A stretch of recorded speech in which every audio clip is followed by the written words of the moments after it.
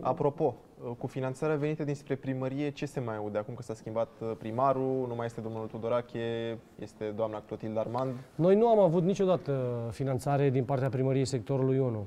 Uh, deși eu am fost cel care am depus, cred că de vreo două ori am făcut, uh, am făcut niște proiecte pentru Academia de Copii și Juniori, acestea au fost respinse pentru că nu, nu exista majoritate în Consiliul Primăriei.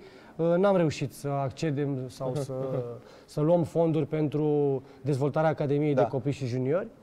Uh, sincer, uh, nu știu ce se va întâmpla în continuare, însă ar fi păcat ca, odată cu schimbarea primarului și cu venirea do- doamnei Clotilde Armand, cei din primărie să nu, să nu caute soluții pentru a sprijini Rapidul, care este un fenomen social și care, până la urmă, poate să reprezinte da. mândria Uh, blazonul uh, primăriei sectorului 1, pentru că eu spun, din, nu cunosc foarte bine, deși stau, am buletinul pe sectorul 1 uh, și s-au întâmplat multe lucruri, dar eu spun că Rapidul, cu parteneriatul de imagine și cu implicarea fostului primar, a reprezentat unul dintre proiectele de succes ale, ale sectorului 1. Și uh-huh. cei, care, cei care vin acum n-ar trebui să ducă Rapidul într-o luptă politică, și ar trebui să găsească soluții să dezvolte cel puțin pentru nivelul de copii și juniori, pentru masa de, de copii da. care, există în, care există în sectorul 1, pe, pe zona de infrastructură ar trebui să găsească soluții pentru ca acești copii să poată, uh, alături de rapid, să poată să-și urmeze uh, niște idealuri, niște vise. Uh, și nu numai. Să, Corect, ca, acești copii, ca acești copii să poată să, să înțeleagă, de fapt, că fotbalul uh, este, le poate modela caracterul, îi poate disciplina și le poate da un sens în viață, poate nu numai uh, din punct de vedere sportiv. Discursul politic e corect, întotdeauna știi că... Uh, dar dumneavoastră a făcut o afirmație foarte bună. A spus că nu va acorda discreționar. Asta înseamnă că și noi putem spera că putem accesa niște fonduri. Și îți spun cu mâna pe inimă, pentru că știu foarte bine și am uh, muncit foarte mult, ceea ce Rapidul poate să le ofere micuților astăzi. Nu există foarte multe entități sportive uh, să le poate pune la dispoziție.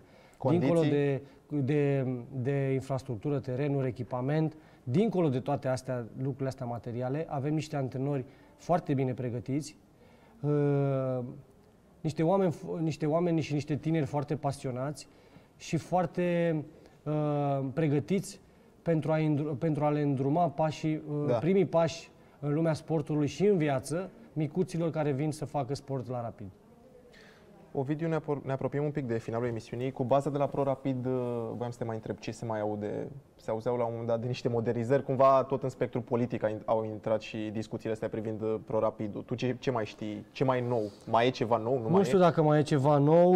Uh, legat de baza Pro Rapid, noi ne-am pus foarte mari speranțe, dar dacă o guvernare PSD nu a putut să facă în așa fel încât această bază să ajungă Uh, la o, la o autoritate locală, în speță la primăria sectorului 1, mi-e greu să cred că acum, uh, cu, și știind cu toții care sunt uh, luptele politice și, și canele care și le fac unii altora, mi-e greu să cred că, mai, că Rapidul mai poate um, obține acest privilegiu de a-și duce acolo Uh, echipele, și vorbim de aici... Deci spui că baza asta e prinsă cumva așa captivă între disputele politice de din București, e captivă cumva? Nu, nu e captivă, doar că dacă uh, domnul Tudorache a, a luptat foarte mult atunci când exista guvernare PSD să poată să o aducă Uh, Clotilde Armand a spus, a spus altceva despre Tudorache și ProRapid, a spus că nu l-a interesat și că voia să transforme ba, lo- locul de acolo într-o clădire de birouri, de nu, business. Nu, nu, nu. L-a interesat foarte mult. Asta a fost uh,